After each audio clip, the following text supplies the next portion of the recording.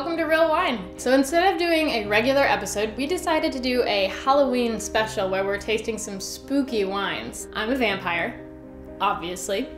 Um, not for real though, so it's okay. But I actually can't talk or taste with these in. You get it, you've seen it. I'm gonna take them out now. Okay, so we're just tasting wines today. We've got three because I couldn't choose between the awesome bottles that I found. So let's jump right in. You may also notice that I'm not using the standard issue glass and I really don't care. So the wine snobs can deal with it. Uh, it's a Halloween goblet. For our first wine, we have this amazing Riesling from Germany, okay? Look, this is a cat. Can you see this clearly? How crazy is that? So it's a 2010 Riesling, and there are a lot of words on the back of this bottle that I'll be honest with you, I cannot pronounce, so I'm probably not gonna try. Um, and it's from the Zeller Schwarz region, and I just couldn't pass this up around Halloween time, so let's see if it's any good. Kind of hard to smell something in this plastic cup, I gotta be honest. It's obviously very light floral. Rieslings tend to be really sweet. tart, definitely tart. Uh, when you first take it into your mouth, it's uh, kind of effervescent, almost like a champagne at a bite. When you swallow in the back of your throat, it's a, it's got a kick. It's sour, almost like a sour candy. It's got some acidity, like more than a normal Riesling. I like it. That's fun. Plus, I love the bottle. I'm gonna collect them. I think.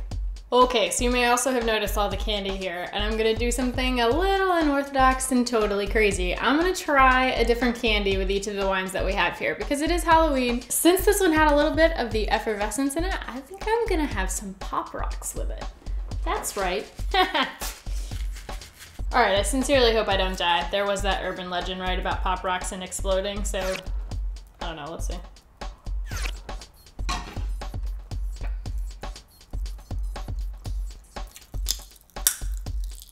Definitely a fun experience. I think you guys should try this at home. And I didn't die yet, so that's good. All right, Pop Rocks and Riesling, who knew? All right, up next, we have the Armida Winery Poison Zin, because it's a Zinfandel. Uh, one of my favorite wines actually are Zinfandels. They're usually pretty strong, bold wines. Okay. Oh, so it's a it's a 2009 Zinfandel from Sonoma County, and there is a fascinating poem on the back here that I read earlier. You should look it up. Oh wow, I smell that already. That has changed so much in from the second I poured it until now. Seriously, it's weird. Like at first it was a really heavy, like um, it smelled like humidity. Uh, if you're from the south, you kind of know what that feels like when you breathe in and it's like thick in the air. But immediately, sort of, it came off of that and it's more fruity, but also like a spicy like peppercorn. Oh, there's something and I can't quite place it. There's some very specific smell. I blame the glass. All right, let's try it.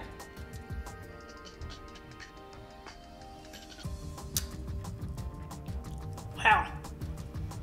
That's got a kick. It's like fruity like in the very tip of your mouth and then in the middle to back of your mouth it gets um, spicy. Like real, like a, a kick, like even um, cinnamon, which is a warm spice, or even uh, black pepper. Hmm.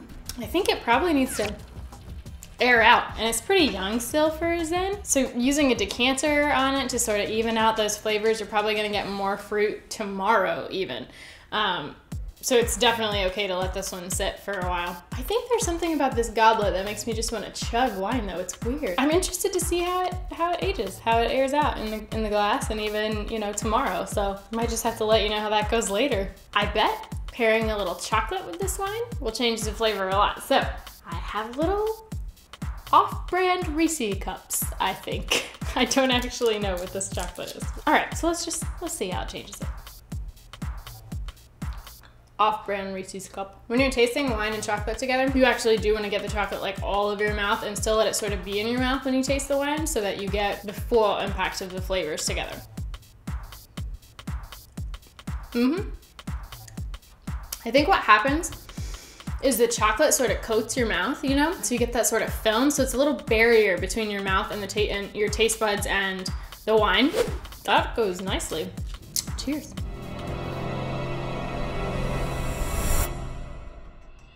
So you may have noticed that this episode looks a little different than the rest. That's because we threw it together at the last minute to get a Halloween episode out. But we do still have a wine under nine segment. This time though, it's a spooky wine under nine. This is Dearly Beloved Forever Red, and I got this at Trader Joe's only because of the label, I'll be honest. Sometimes I do that, but it looks pretty cool, right? And totally goes with the Halloween theme. This one is a crazy blend with like five different grapes in it, so I'm pretty curious about how they all come together. I'm about to spill it. It's really um, got a mild flavor. There's a lot of smell when you first swirl it, and then it dies off like almost immediately, which is weird. Kind of fruity, a little blackberry, maybe smoke, like kind of smoky. Hmm. Definitely smoky. Definitely, that's what I was smelling. It's got a long finish in the back of your throat. There's some some interesting lingering taste going on there. You taste wine kind of like you do mouthwash. A little bit. Like if you really want to taste it in all the different areas, you switch it around, you know? And it's like exactly sort of what you do, but a little less violently than maybe you do with mouthwash. I think it could use some candy corn. Our last and not least candy of the day. Hmm. That makes it worse. Yep. Oh. Definitely. Definitely weird that way. Mm. All right. We were on a roll. Even Trader Joe's itself online said that they didn't want to say it was all about the package, but it's sort of all about the package. So I wasn't judging this wine too harshly because let's be honest, but I bet this one too would get better after it ages a little bit longer. It does have some interesting things in there. It's just a little sharp right now. Definitely, definitely don't drink it with candy corn. Well, that does it for our first Halloween special. As always, let us know what you thought and subscribe to the channel. And if you make a wine that you'd like us to feature, send me an email. Hope you guys have some fun plans for Halloween. And until next time, ci vediamo un'altra volta. Drink up.